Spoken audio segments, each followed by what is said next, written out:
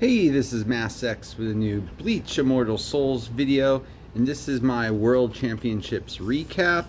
Real quickly, um, I got lucky this time and, and still got number one, so there's some shameless self-promotion out front. But let's talk about first um, the 10 players that beat the initial setup out of the gate. It took almost a full two weeks, but it happened. Um, the first person to beat um, the setup was Bot. The second was Shira. The third was BizLeaks. The fourth was Honda. The fifth was Grandal. The sixth was Kreiser. The seventh was Green Lantern. The eighth was Senkai. The ninth was Takano Rai. And the tenth was Deadpool. Congratulations you all beat that initial setup team. I think there was two more Rob did and somebody else. Um, but I was only keeping track of the first 10. And then the final day, um, I did switch up the teams, and I'll go ahead and show those teams to you. This was one of my more throwaway teams. I put them in slot one, um, but they actually did okay, surprisingly. This time, usually I don't go for soul hauls on all seven teams. This time I did. Um, probably wasn't my best work because I didn't have a lot of time. So I went with the soul haul route to at least get that damage reduction the first two rounds. The team two on that last day, let's take a look at them real quickly, was another team I consider kind of a throwaway team. You know, the synergy is not great. I just went with um, who I thought could have some durability. This particular team did not hold up well at all. Um, would not recommend trying it. The next teams you see are ones that actually did quite well, to say the least. This is um, an alteration of a setup where I normally use snipers in the back line um, with Ichigo. Um, I switched it up to kind of spread things out a little bit more. These guys held up pretty well, I gotta say, surprisingly. Um, when the snipers are in the back line in, instead of Ostalordi and Byakuya, um, it's just a it decimates. Um, but like I said, I was trying to uh, try some things different, see how far I could spread apart teams without completely loading up four super strong teams. This is a variation of the Nel that I use. Um, as you can see, I tried out um, two different characters than I would normally use. Um, our newest UR as well as um, I put in Anniversary Aizen. I pull them sometimes. I put him in. I pull them. I put him in. Um, he's just such a good finisher with the Nel team. He does really well with them. This team always does pretty good.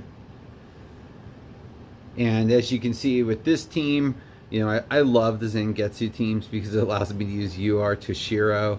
Um, you know, you're going with the added rage with uh, um, the anniversary Ichigo. Um, you've got Toshiro on that front line to help with the freeze. And this, this is one of the teams I, I was testing out, throwing in a sniper in that back line with White and Zangetsu. This it did well. This one held hold up holds up well. If they survive, they usually can kill a team in about three rounds, tops, against a top contender if you've been watching my videos in the past, you know in every Worlds I always do all female teams. I love them. I think they're great. They have versatility. Yeah, they're not going to win every time, but they always have that chance, and they can play a team much higher level than them and always have a chance to win. This time around, um, of course, Yuki's in there, um, which uh, definitely gives it a, a push, to say the least. Um, I was pretty happy with it. Um, I'm hoping we get some more real well-built, um, competitive female characters down the road because I, am telling you, female teams um, are great. And also, too, if you're if you're if you're a light spender or free to play, a lot of the characters um, you can get and you can pick and choose who you want the key is the War Souls. I've done videos on this in the past, but I absolutely love them. And they do great. And sometimes, you know, it'll just go to 10 and you may not eliminate the team, but you win. So they're a fun team always to play. Last but probably not least, of course, is the Rage Reduction team. This time I went ahead and put Yami in the back line, who I had not been using before with this team. Um, I've mixed it up a few different ways. You know, that core is always your Summertime Gin and your Shinji. And I personally think Butterfly Aizen just thrives in this team and, and is a great addition. Um, Yami did well this time. Um, you know, just when you think he's down and out and not as usable of a character, at sometimes he comes back and, and gets in formations that just work so well with him. Uh, this formation is definitely a solid formation if you have these characters to use.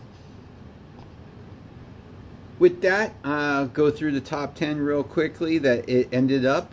Uh, side note, I gotta give an honorable mention to Rob in every Worlds we have played, nobody has ever beaten the team that I set up on the final day. And Rob did it. He sniped it. Sniped it twice. I didn't have time to change anything in it and was just keeping my fingers crossed that things would work out. Um, he always does a, a great job and is creative with much more limited resources. I got to give him kudos um, because you know I, I, took a look and was like, oh wow, I wasn't expecting that. Um, but no, and also too an honorable mention to Kreiser. Um, he he set a goal to try to win more than four matches, and, and he was able to with the with the other setup and, and got some five. I think it was five twos. Yeah. Um, so hats off to him because he's always good at figuring out the puzzles of an opponent's team. Um, let's go ahead and take a look at the remainder of the top 10. As you can see, Kreiser came in on fifth, Bot was sixth, um, and so on. Rounded out that top 10, as you can see, Rob ended up making it in ninth. So hats off to him. Um, and She-Ra was up there as well. Again, you know, I I always tell everybody don't take World too personally. Um, it's more to me about just being able to see what other people are doing on other servers that you don't get to play in Kenpachi Contest. It's a great time to test. It's a great time to see what characters work um, and what characters don't. So I, I do enjoy it. Um, I really am hoping that we get some more cross-server content like we were supposed to, Squad Boss. But we will see. With that, I hope everybody's having a great week.